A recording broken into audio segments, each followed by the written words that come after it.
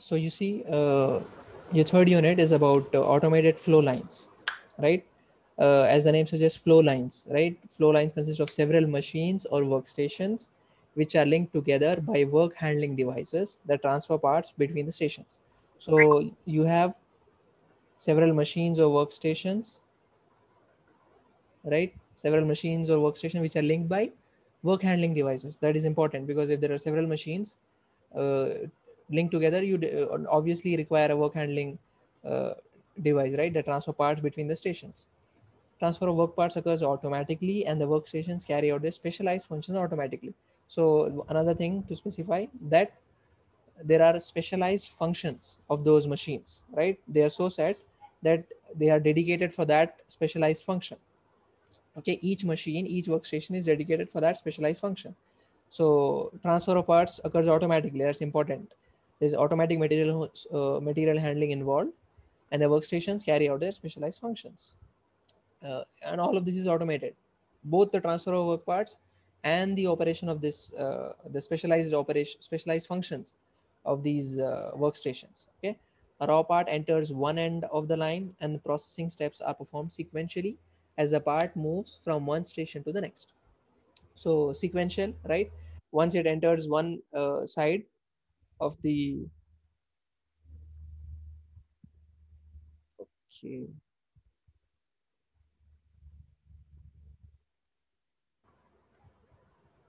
Why has this come here?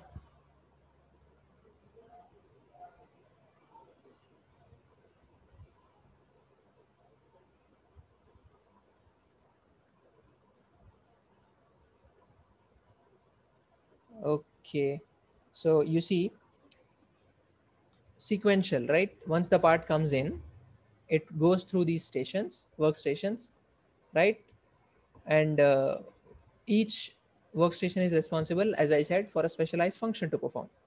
And then after going to all the station, the parts leaves, right? So sequential processing steps are performed sequentially, okay, as a part moves from one station to the next. It is possible to incorporate buffer storage zones into the flow line, either at a single location or between every workstation.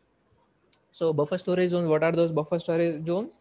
That you are uh, making provisions for part storage, okay, in between the flow lines. Because once a part has left, for example, a part has left from first station, okay, but the second machine is still uh, processing the second part, okay, the, uh, the, the previous part. So it cannot send, the, this part cannot enter this machine, right? So you have to have a buffer storage zone. That's what is called a buffer storage zone that you're making provisions for what's to be stored temporarily. Okay, so that uh, it's possible to incorporate that right either at a single location or between every workstation. So it could be at a single location uh, location, right? Depends on the layout or between every workstation as I was explaining here. It could be between any two workstations, right? So that's that. And uh, it is also possible to include inspection stations in the line to automatically perform intermediate checks on the quality of the work parts. Because you see, I told you that uh, in order, uh, uh instead of checking the inspection, I mean, inspect instead of inspecting uh, at the very end, you can in inspect after every process so that we know whether it is a good quality part or can should we send it for processing again or is it uh, basically for scrap uh, can it be uh, remodified? Okay. Can you machine it again to bring it to the desired specifications? Or is it that uh, you have to scrap it?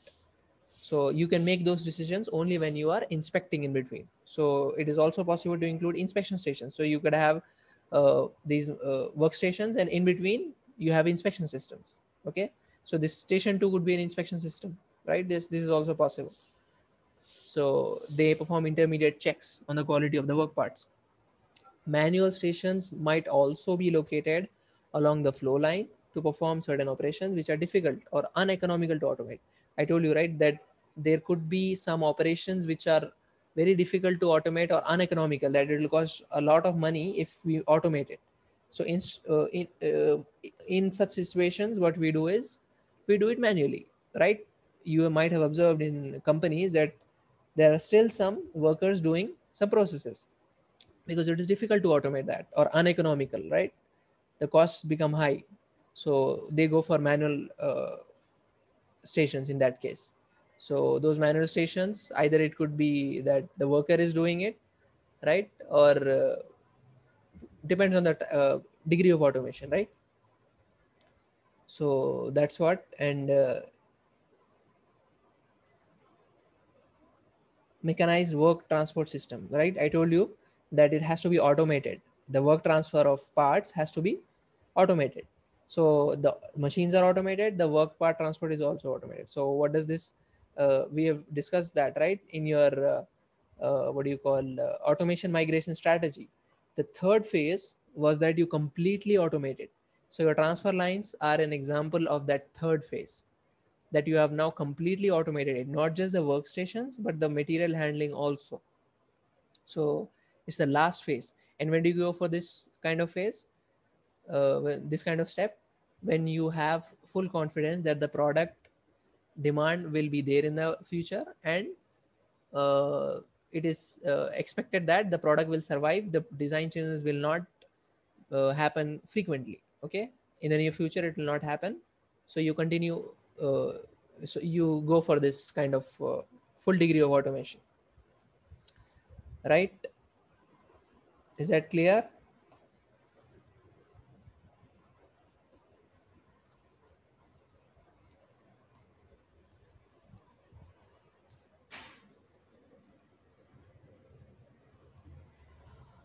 Okay. And then you see objectives. Why are we going for these automated flow lines? The objectives uh, to use these flow line automation is to reduce labor cost right? Because uh, you want to have these machines set up and uh, the labor cost would be minimized and uh, increase of production rates because all of that is automated not just the machines but the material handling also. So that uh, leads to your increase of production rate and uh, because you're not uh, sending those intermediate parts to storage zones right? Like for example automated storage and material handling system but you are having those buffer storage zones right? So that's what makes the production of this uh, you have a high production rate. Because each machine is responsible for a specialized function. So they it, it does it process and send it to another machine. And uh, there are no what do you call uh, delays involved here because of setup etc because it is solely for that one right? Standard product design. So increase the production rate reduced work in process right? Because of that uh, immediate transfer to another workstation because they are linked right?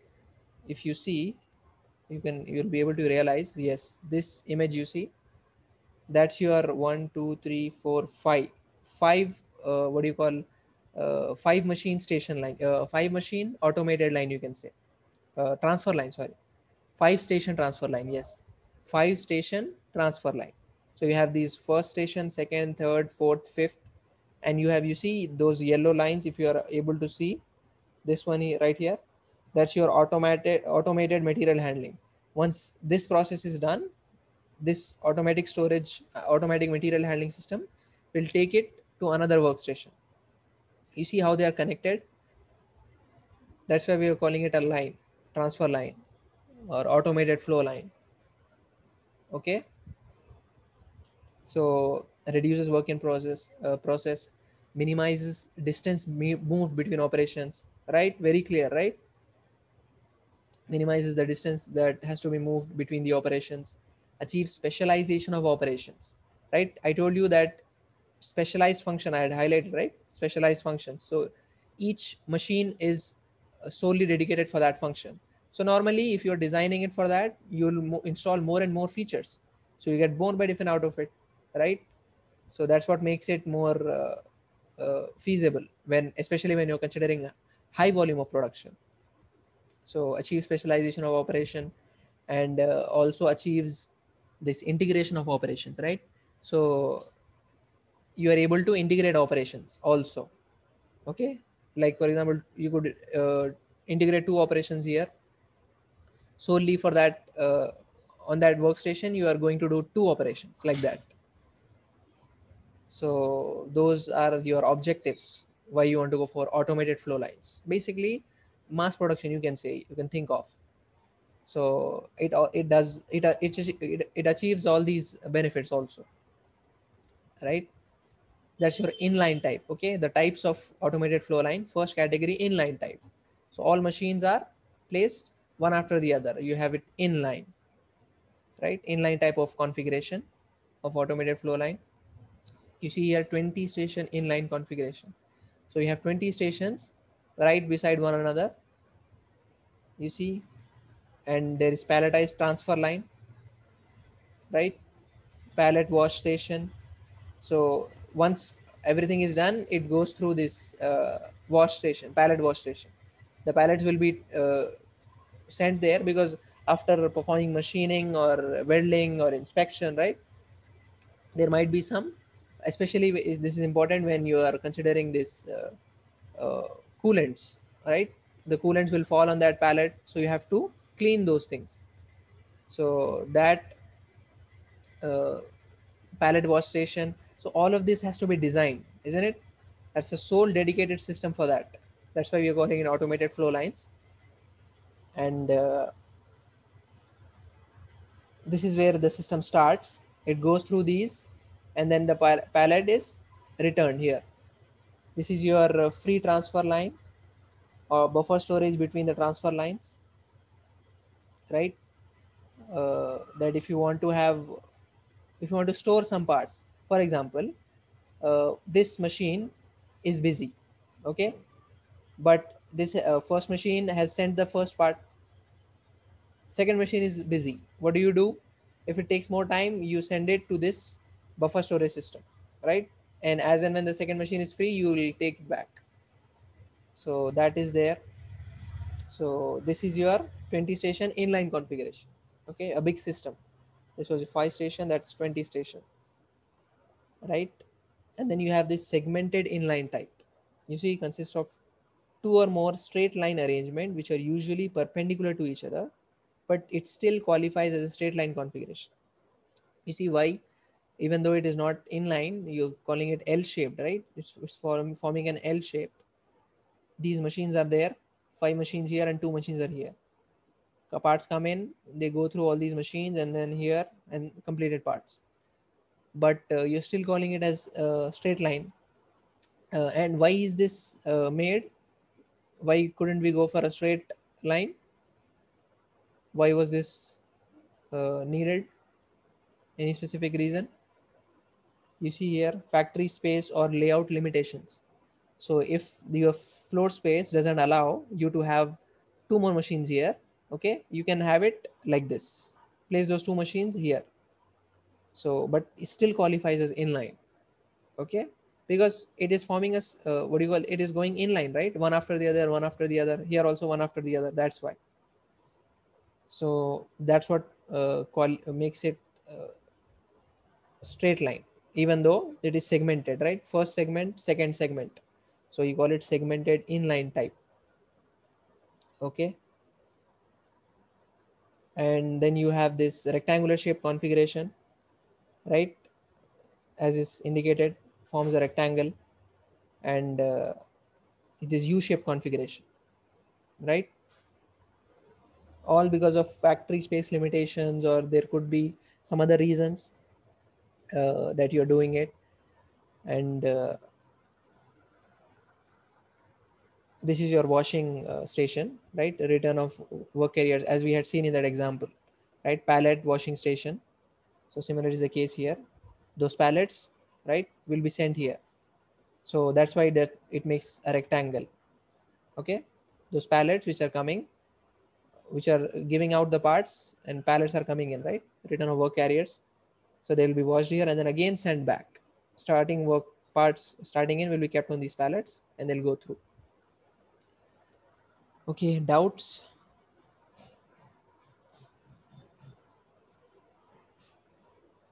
If there are no doubts, then we'll end the meeting. It's already three, right?